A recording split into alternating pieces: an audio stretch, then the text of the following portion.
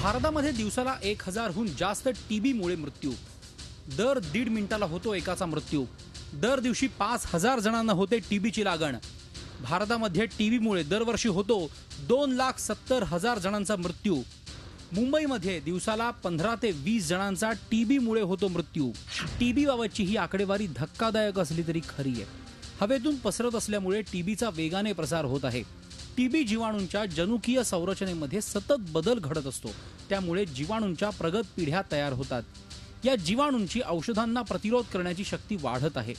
टीबीवर अल्पावधीत परिणाम करेल असं औषध गेल्या अनेक वर्षात आपल्याला तयार करता आलेलं नाही. त्यामुळे राज्यासमोर टीबी निर्मूलनाचं आव्हान उभं ठाकलंय. त्यातच साधारण टीबीचा पुढचा टप्पा असलेल्या एमडीआर टीबीने आव्हानात वाढत केली आहे.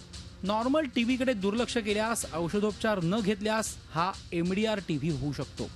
M D R T TB झाल्यानंतरही दुर्लक्ष केल्यास एक्स डी आर टीबी होतो. नॉर्मल टीबी हा सहा ते नऊ महिन्यात पूर्णपणे बरा होतो. सत्त्याण्णव टक्के रुग्ण या टप्प्यावर बरे होतात. यासाठी औषधांचा खर्च येतो केवळ दोन ते तीन हजार रुपये.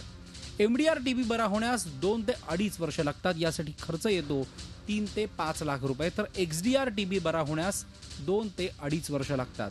एम डी आर वाढणं हे फार धोकेदायक आहे. म्हणून ज्यावेळेला पहिलाच टी बी होतो ज्याला आपण सेन्सिटिव्ह संवेदनशील टी बी म्हणतो त्या ह्याच्यासाठी सहा महिने लागणारी औषधं जर आपण रेग्युलर घेतली तर पुढच्या पिढीला म्हणजे पुढच्या काळामध्ये एम डी आर हा नाहीसा होईल. देशासमोर आव्हान आहे ते टीबीचा वाढता प्रसार रोखण्याचं.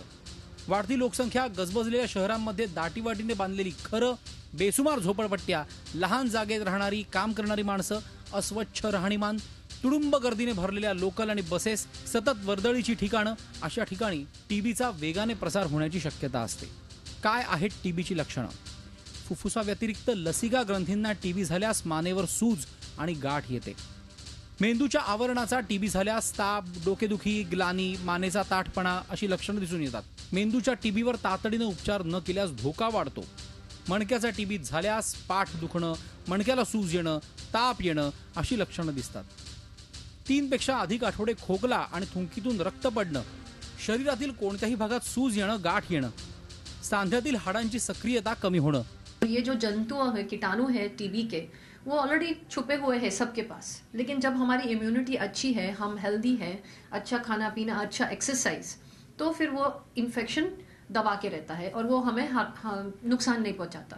लेकिन अगर हमने क्रैश डाइटिंग किया तो ये इन्फेक्शन जाग सकता है। टीबी दूर करण्यासाठी लोकांनी स्वतःच्या सवयींमध्ये बदल केले पाहिजे एका टी व्ही रुग्णाकडून दरवर्षी पंधरा रुग्णांना टी व्ही होण्याची भीती असते हे वास्तव ध्यानात घेऊन आरोग्याची काळजी घेतली पाहिजे.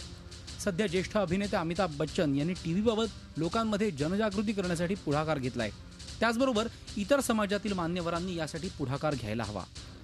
टी बी पेशंटची संख्या दिवसेंदिवस वाढते आणि टी बीमुळे मृत्यू होणाऱ्यांचं प्रमाण देखील मोठं आहे. एकीकडे ही परिस्थिती असली तरी दुसरीकडे समाजामध्ये टी बी पेशंटकडे पाहण्याचा दृष्टिकोन देखील फारसा चांगला नाही आहे अनेक ठिकाणी तर या पेशंटला वाळीत टाकण्याच्या घटना देखील घडलेल्या आहेत. त्यामुळं टीबीचं समूळ उच्चाटन करण्यासाठी सगळ्यांनीच पुढाकार घेण्याची गरज आहे.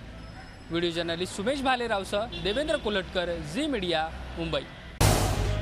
झी चोवीस तास. रहा एक पाऊल पुढे.